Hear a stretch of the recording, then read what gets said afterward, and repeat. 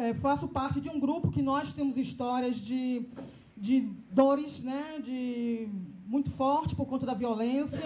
Todas nós do grupo, desse grupo né, de 10 e de 11, temos fato de violência na nossa família, ou pelo tráfico, né, ou pela polícia.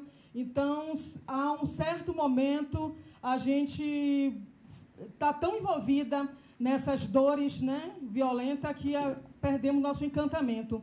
E foi uma fala de uma integrante que falou: Pô, nós estamos desencantadas, por que comemorar 20 anos?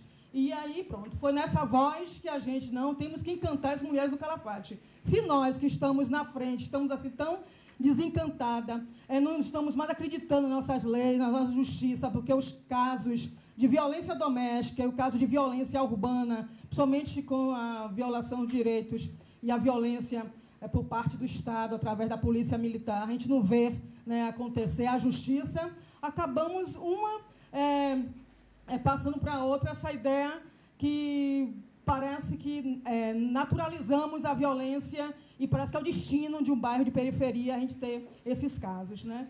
Mas é por isso que é bom viver em grupo, né? Que uma vai injeção a outra, vai né, animando e a gente não. Vamos comemorar sim. Nós não estávamos dormindo, né?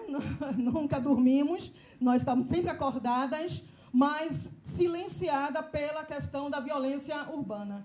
E por conta dessa comemoração fomos à rua, falar da violência, falar da violência que teve um assassinato também a um homossexual da comunidade e a gente foi fazer nossas caminhadas né, na nossa nosso espaço, nossa, na nossa comunidade. A gente quer mostrar que é, não podemos né, desanimar por conta desses fatos, mas que não é fácil, certo? É uma luta cotidiana mesmo, da gente estar tá uma animando a outra. Então a palavra da gente é o encantamento, acreditar que existe justiça e a gente caminhando.